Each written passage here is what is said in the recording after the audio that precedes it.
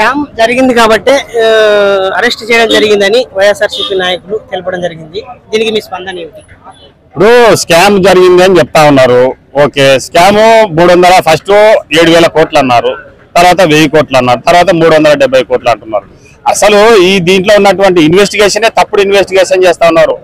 స్వయాన ఇప్పుడున్నటువంటి CI CID DG ఎవరైతే సంజయ్ గారు ఉన్నారో ఇక్కడ ఒక మాట చెప్తాడు ఆంధ్రప్రదేశ్లో ఢిల్లీలో పోయి ఒక మాట చెప్తారు. మీరే మీ పత్రిక వాళ్ళు అడిగినటువంటి మాటలకు సమాధానం లేకుతుంది స్కిల్ డెవలప్మెంట్ పేరుతో ఏదైతే సీమెన్ కమిటీ ఉందో సిమెంట్ కంపెనీ ఏదైతే ఉన్నదో ఇది మన రాష్ట్రంలోనే కాదు గుజరాత్ రాష్ట్రం నుంచి ప్రారంభమైంది. ప్రపంచవ్యాప్తంగా ఈ సిమెంట్ కమిటీ ఒప్పందాలు కూర్చుకున్నది సిమెంట్ కమిటీ సిమెంట్ కంపెనీ ఏదైతే ఉన్నదో వాళ్ళే సిఇఓ గారు చెప్పారు. దీంట్లో ఏ విధమైనటువంటి కుంభకోణం లేదు. ఏ విధమైనటువంటి మరి అక్రమాలు జరగలేదని చెప్తా ఉన్నారు. ఇది కేవలము కుట్రపూరితము బురద చల్లాలి మరి జగన్మోహన్ రెడ్డి బురద పోసుకున్నాడు ఆయన. పదమూడు కేసుల్లో ఉన్నటువంటి నలభై వేల కోట్ల రూపాయలు మరి అటాచ్మెంట్ చేసినాము. పదహారు నెలలు జైల్లో ఉన్నాడు. కాబట్టి మాకు కూడా బురద జల్లాలని చెప్తున్నాడు తప్ప దీంట్లో ఏ విధమైనటువంటి తప్పు జరగలేదు. అసలు ఈ యొక్క కేసులో పసనే లేదు.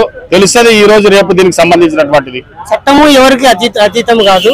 కాబట్టి నారా చంద్రబాబు నాయుడు గారిని అరెస్ట్ చేయడం జరిగింది. సో చట్టం ఎవరికి కూడా చుట్టంగా పనిచేయదు కాబట్టి ఈ పరిణామం జరిగిందని నాయకుల యొక్క వాదన. సో సిఐడి వారు అందుకు అందుకనే పోలీసులు కూడా అరెస్ట్ చేయడం జరిగిందని చెప్పి. ఓకే చట్టంకు అతిథులు ఎవరు కాదు. ఓకే రెండు వేల పదహైదు పద్దెనిమిదిలో కేసు నమోదైనటువంటి కేసు ఆ రోజు కూడా చంద్రబాబు నాయుడు గారిని ఎఫ్ఐఆర్లో పేర్లేదు. మరి ఎందుకు చేయాలి ఆ రోజు? ఈ రోజు ఇప్పుడు వచ్చి ఎలక్షన్ల ముందు వచ్చి మీరు ఆయనని రాష్ట్రీయ చేసి ఇప్పుడు పేరు చేరుస్తా ఉన్నారు. అంటే చట్టం మీ చుట్టమా? సిబిఐ కేసుల్లో జరుగుతున్నటువంటిది ఏమో ఒక రకంగా జరుగుతుంది. సిఐడి కేసు సిఐడి కేసులు అన్నటువంటి under control of the state government state government చెప్పు చేతుల్లో నడుస్తా ఉంది. అంటే జగన్మోహన్ రెడ్డి ఏం చెప్తే అది. జగన్మోహన్ రెడ్డి ఏపీ ఎవరి పేరు చేర్చామంటే వాళ్ళ పేరు చేరుస్తారు. ఎవరి పేరు తీసేయమంటే వాళ్ళ పేరు తీసేస్తారు. సరే ఏదైతేనేమి? మరి కోర్టులు ఉన్నాయి. దాని వాస్తవాలేమో కోర్టు తెలుస్తుంది. అంటే ఈ రోజు మీరు ఎవరిని అనుకుంటే వాళ్ళు చేస్తారు. అదే జగన్మోహన్ రెడ్డి ఈ రోజు సిబిఐ కేసులో మరి ముప్పై ఆరు కే ముప్పై దాదాపు పద్నాలుగు కేసుల్లో ఈడి కేసులు ఉన్నాయి ఎన్ఫోర్స్మెంట్ కేసులు ఉన్నాయి సూట్ కేసు కేసులు ఉన్నాయి మరి ఎక్కడ ఉన్నాయి? చంద్రబాబు నాయుడు గారిపై ఈ రోజు ఏ విధమైనటువంటి కేసులు ఉండాలి ప్రజలు గమనిస్తున్నారు. కాబట్టి ఇవన్నీ తప్పుడు కేసులే తప్ప వేరే కేసులు కాదని కూడా మేము తెలియజేస్తున్నాం అవినాష్ రెడ్డి విషయంలో కర్నూలులో అరెస్ట్ చేసే విషయంలో అరెస్ట్ చేసే విషయంలో లాండర్ దెబ్బతింటుందని చెప్పి అరెస్ట్ జరగలేదు.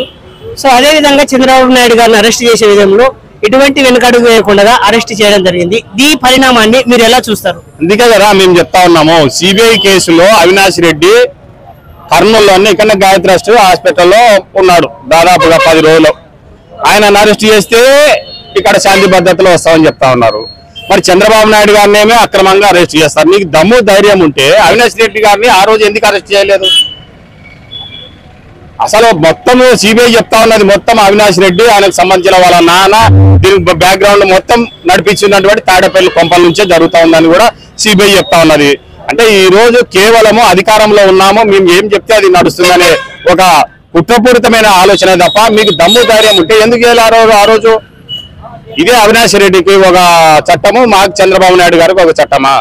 అంటే న్యాయస్థానాలు తెలుస్తాయి ఎవరు ఎవ- ఎవరు దోషులో ఎవరు నిర్దేశులో మరి సిబిఐ కేసుల మీద ఎవరు పెట్టారో అవన్నీ కూడా త్వరలోనే మరి న్యాయస్థానాలు కూడా చేరుస్తామని కూడా మీ ద్వారా తెలియస్తా ఉన్నాం. తెలుగుదేశం గవర్నమెంట్లో జగన్మోహన్ రెడ్డిపై కేసులు పెట్టడం జరిగింది. జగన్మోహన్ రెడ్డిపై మేము కేసులు పెట్టలే. మీరు గమనించండి ఈడ జగన్మోహన్ రెడ్డిపై తెలుగుదేశం వాళ్ళు కేసు పెట్టలేదండి. జగన్మోహన్ రెడ్డిపై ఆ రోజు లెటర్ రాస్తే ఆ రోజు ఉన్నటువంటి శంకర్ రావు లెటర్ రాస్తే దాన్ని ఆధారంగా చేసుకొని ఎఫ్ఐఆర్ చేసినారు. దాన్ని ఆధారంగా చేసుకొని సిబిఐ ఎంక్వైరీ చేసింది. దాన్ని ఆధారంగా తీసుకొని ఎన్ఫోర్స్మెంట్ చేసింది. అంతే తప్ప తెలుగుదేశం పార్టీకి మాకు ఎటువంటి సంబంధం లేదు. ఆయనపై పెట్టినటువంటి కేసులు. అరే సిబిఐ కేసులు పెడితే పదహారు నెలలు ఎట్లా ఉన్నారు? నలభై వేల కోట్ల రూపాయలు ఎందుకు అటాచ్మెంట్ చేసింది ఈడీ అటాచ్మెంట్ అవి గమనించారా? అంటే ఈరోజు మాపై బుర్ర చల్లుతున్నారా తప్ప వాస్తవంగా పదహారు నెలలు ఆయన ఈ- ఈ రోజు అండర్ బెయిల్ పైన తిరుగుతా ఉన్నాడు. జగన్మోహన్ రెడ్డి అది గమనించండి. బెయిల్ పై మాజీ సీఎం గారు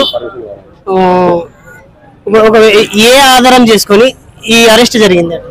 ఇప్పుడు ఇది జగన్మోహన్ రెడ్డి రాజ్యాంగం ప్రకారము చట్టం ప్రకారం పనిచేయడంలో ఆయన. తన సొంత రాజ్యాంగం రాజా రాజారెడ్డి రాజ్యాంగం నడుస్తా ఉన్నది.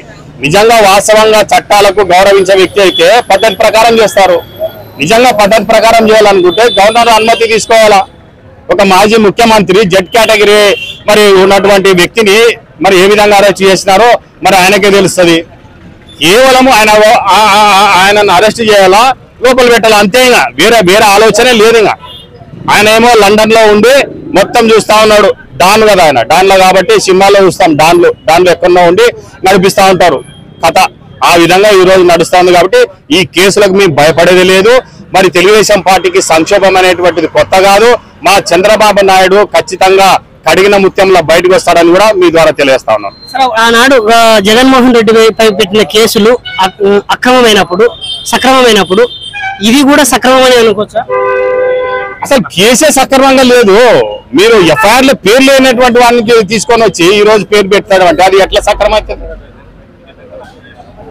ఇప్పుడు దీ- దీనివల్ల జగన్మోహన్ రెడ్డి సునకానందం పొందుతున్నారు చెప్పి. ఈ రాష్ట్ర ప్రజలకు అందరికీ తెలుసు. రేపు న్యాయస్థానం కూడా ఏ విధమైన తీర్పు ఇస్తే మీరే చూస్తారు. కాబట్టి ఇది ఇది కేవలం కుట్ర బురద కేసు. ఆయన మొత్తం వాళ్ళంతా బురద పూసుకున్నాడు. ఫైనల్గా ఏం తెలియదు సార్ ఈ యొక్క కేసు? కేసు ఫైనల్గా ఇది అండర్ కోర్టులో ఉంది కాబట్టి ఆ కోర్టు ఏ విధంగా మేము చట్టాలను కోర్టులను గౌరవిస్తాం చట్టము కోర్టు పరంగా ఏ విధంగా న్యాయపరంగా మేము ఎదుర్కొంటాం. Okay thank you